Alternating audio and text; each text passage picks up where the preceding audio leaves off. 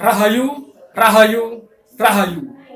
Ketemu lagi dengan saya, Teddy Wahyono, di channel tempat mengenal keris dan pusaka Nusantara lainnya dengan akal sehat dan hati terbuka. Nah, untuk kali ini saya akan membahas sebuah pedang kuno ya. Ini dari tanah Jawa. Jadi untuk di Jawa sendiri ada beberapa macam pedang kuno. Antara lain ada pedang lameng, pedang larbango, dan suduk maru. Kalau dari ukurannya seperti ini dan bentuknya, mungkin teman-teman sudah bisa memperkirakan ya. Jadi ini pedang apa? Jadi langsung saja ya. Jadi ini adalah pedang suduk maru. Suduk itu artinya menusuk ya kalau di Jawa ya. Jadi sebenarnya ini suduk maru.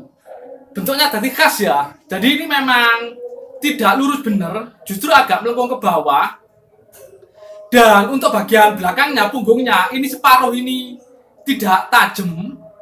Sedang yang separuh lagi sampai ujung ini tajam. Jadi seperti sisi baliknya.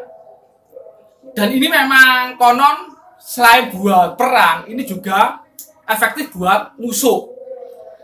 Dan yang jelas untuk materi pedang-pedang kuno, terutama pedang sudut maru, itu bagian tengahnya itu pasti mengandung selorok baja. Jadi kalau teman-teman lihat secara sekilas seperti ini, ini yang tengah putih ini adalah pamor, yang abu-abu bagian tepi ini adalah bajanya ya, baja. Jadi yang namanya pedang, lamong pedang, sabet, suduk maru, itu pasti mengandung selorok baja karena memang fungsi utamanya adalah senjata. Jadi ini memang buat perang. Dan salah satu ciri dari pedang kuno, biasanya yang kropos duluan itu adalah bagian ujungnya ya, seperti ini. Habis ini tak tunjukkan detailnya ya. Jadi bagian kroposnya rata-rata pedang kuno.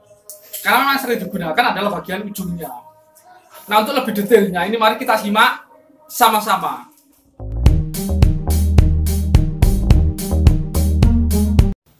Nah, ini warongkonya baru ya. Jadi ini baru saya pesankan karena untuk warongko lamanya sudah rusak parah dan tidak layak pakai. Dan untuk warongkonya sendiri sekilas seperti warongko golok ya, golok-golok yang modern terutama di era-era perjuangan kemerdekaan.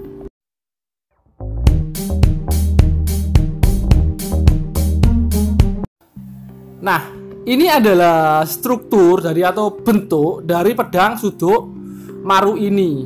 Kalau teman-teman perhatikan bentuknya, jadi ini melengkungnya khas ya. Jadi seperti ada agak di bagian tengah itu ada ada kayak sudut ya. Jadi melengkungnya agak kayak patah gitu dan mirip dengan pedang lar bango cuma kalau lar bango tekuannya lebih ekstrim dan memang untuk tekuan pedang-pedang seperti ini memang kebanyakan memang di Jawa ya. Kalian di luar negeri itu yang mirip seperti lar bango atau suduk maru itu adalah kukri. Kukri juga cukup ekstrim untuk tekukannya. Kalau pedang Jepang atau katana timur tengah itu jadi melengkung ya jadi melengkung ibaratnya yang cembungnya di bagian depan. Kalau di Eropa kebanyakan banyak yang lurus ya gitu. Jadi ini memang khas. Jadi kenapa dibuat seperti ini? Mungkin memang ada tujuannya ya. Dan memang kalau teman-teman memegang pedang-pedang suduk maru yang sudah diberi handle.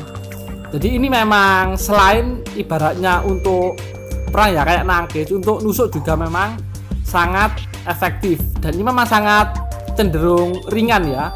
Ringan dan untuk panjangnya juga fleksibel. Artinya di ruang yang tidak terlalu luas pun ini memang masih efektif kayak gitu.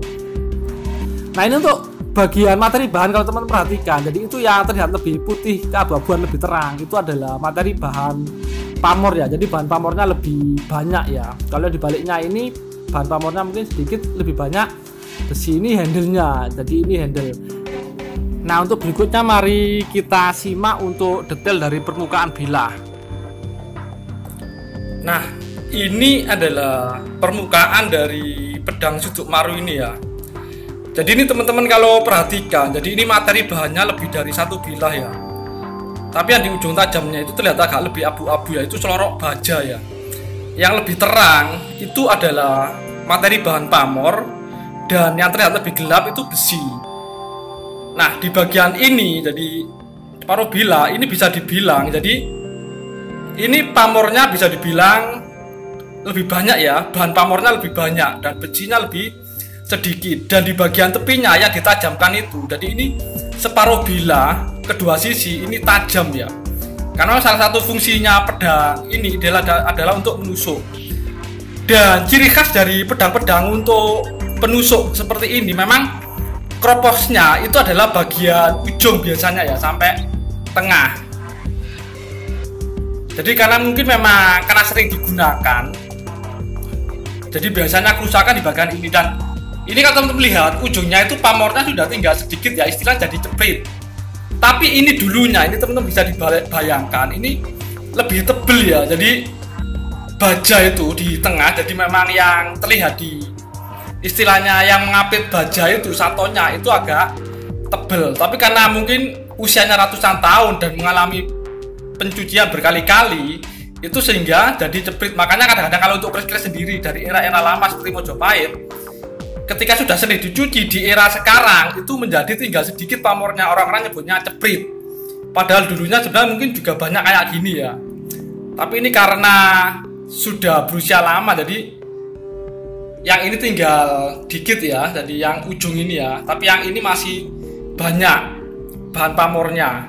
Dan yang abu-abu tepi itu adalah baja dan itu sudah mulai ngerong tebu ya. Jadi sudah ada keropos sedikit yang cukup banyak. Nah ini bagian sampingnya ya. Nah, ini di sini bahan pamornya juga banyak, masih banyak dan ini malah bentuk wengkon dan ini masih mendingan ya, jadi terlihat tadi. Tapi untuk di ujungnya memang sudah bisa dibilang yang paling parah di bagian ujung ya, karena sudah yang paling tipis ya. Jadi tinggal bajanya, selorok bajanya yang banyak. Untuk materi pelapisnya, satunya atau pamornya tinggal sedikit. Jadi mas seperti ini ya, karena memang mungkin pernah dipakai entah nusuk manusia atau hewan seperti apa kita juga kurang tahu. Tapi yang jelas biasanya memang untuk pedang-pedang cucuk maru memang kerusakannya kroposnya itu kebanyakan di bagian ujung ujung sampai tengah sini.